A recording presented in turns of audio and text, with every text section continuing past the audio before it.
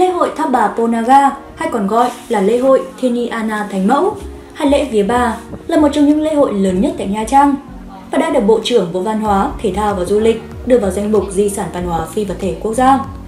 Lễ hội Tháp Bà Ponaga không chỉ là một lễ hội truyền thống của dân tộc Chăm mà còn là dịp để thu hút rất nhiều du khách du lịch Nha Trang đến để tham quan. Vậy muốn biết lễ hội Tháp Bà Ponaga có gì đặc sắc thì mời bạn cùng xem hết video này của blog Travel Việt nhé. Thời gian và địa điểm diễn ra lễ hội Tháp Bà Ponaga Lễ hội Tháp Bà Ponaga diễn ra từ ngày 20 đến ngày 23 tháng 3 âm lịch hàng năm.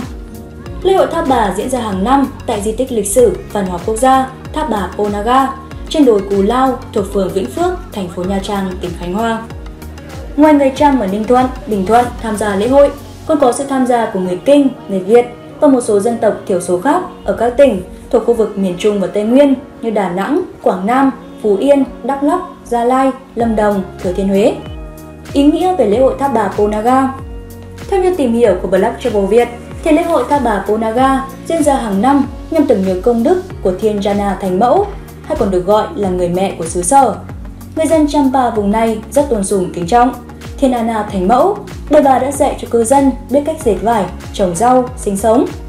Nếu có dịp đến thăm Tháp Bà Ponaga, và sẽ cảm nhận được sự kính trọng của người dân Chăm dành cho Thiên Nana Thánh Mẫu.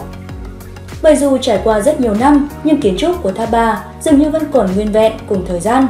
Từ bức tượng thần Shiva cưỡi như thần Nandin cho đến từng đường nét chạm trổ tinh xảo đều mang trong mình nét đặc trưng của văn hóa Champa.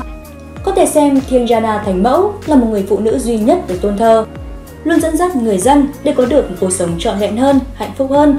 Chính bởi lý do đó, bà mẹ xứ sở được người dân tôn sùng với hình thức tế bái linh thiêng. Lễ hội Tháp Bà Ponaga diễn ra như thế nào?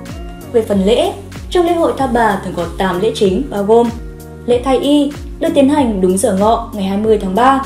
Vị chủ tế sẽ dâng trầm hương, nhang, hoa, trái cây và khấn vái. Các thành viên trong đội thay y thực hiện việc sắp xếp đổ lễ trong dinh và cởi xiêm y, mũ miệng để tắm tượng. Nước dùng để tắm tượng được nấu từ rượu với nước và có cánh hoa có mùi thơm, 5 loại. Sau khi tắm thì tượng mẹ được mặc xiêm y và mũ miệng mới do người dân dân cúng. Những bộ xiêm y sau khi thay được giặt sạch rồi đưa ra trưng bày để du khách và nhân dân chiêm ngưỡng.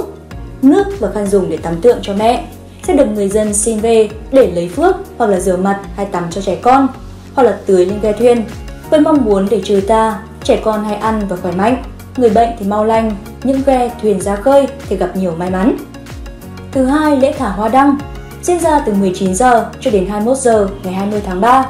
Nến và hoa được thả trên sông để cầu siêu cho các vong linh với hơn 10.000 chiếc hoa đăng nhỏ và 5 hoa đăng lớn.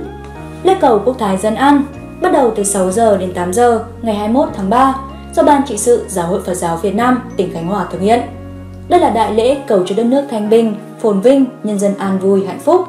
Lễ cúng ngọ, cùng thí thực diễn ra từ 12 giờ đến 12 giờ 30 ngày 21 tháng 3 tại ngôi tháp chính để dâng mẫu và bố thí cho các cô hôn. Tế lễ cổ truyền diễn ra từ 4 giờ đến 6 giờ ngày 23 tháng 3 do các cụ hào lão đình, cù lao dâng lễ theo nghi thức cổ truyền rất trang nghiêm. Lễ khai diên, lễ tôn vương diễn ra từ 6 giờ đến 9 giờ ngày 23 tháng 3. Sân lễ được dựng trước mandapa, tiền đinh, mặt hướng vào điện thờ Đức Thánh Mẫu. Vật phẩm dâng cúng bao gồm hương đăng, trầu cau, rượu, vàng bạc, một phong bì đựng tiền. Tiền này thì không bắt buộc, cúng nhiều ít là do ban tổ chức.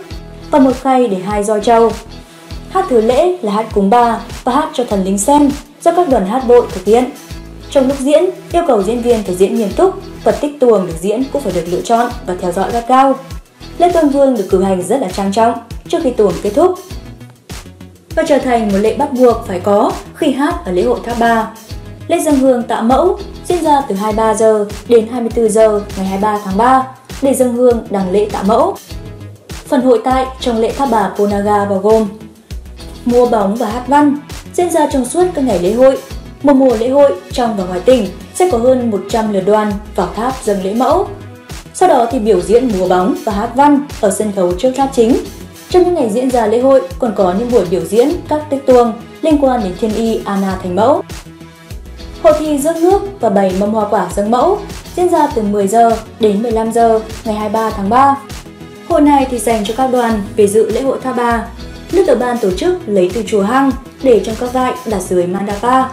Các đoàn cử người thi đội chung nước từ Mandapa, rước nước lên tháp để dâng mẫu. Mâm quả được các đoàn chuẩn bị và thi đội nào sắp xếp đẹp nhất để dâng mẫu. Mâm lễ của đoàn nào đẹp nhất được dâng lên mẫu ở tháp chính. Các mâm còn lại sẽ được dâng ở cái tháp khác trong di tích Tháp Bà Ponaga. Có thể nói lễ hội Tháp Bà Ponaga là lễ hội lớn mang nhiều ý nghĩa về tín ngưỡng, người dân tộc Champa và là biểu tượng của sự đoàn kết dân tộc. Góp phần làm nên các yếu tố cố kết cộng đồng của các dân tộc Việt Nam trên giải đất miền Trung. Vì vậy, nếu bạn có dịp đi du lịch Nha Trang vào khoảng tháng 3, thì hãy thử sắp xếp thời gian để được một lần trải nghiệm không khí náo nhiệt của lễ hội Tháp Bà Ponaga nha. Cảm ơn các bạn đã xem hết video này. Đừng quên nhấn like, share và đăng ký ủng hộ kênh để cập nhật thêm nhiều video mới nhé. Còn bây giờ thì xin chào và hẹn gặp lại các bạn trong các video sau.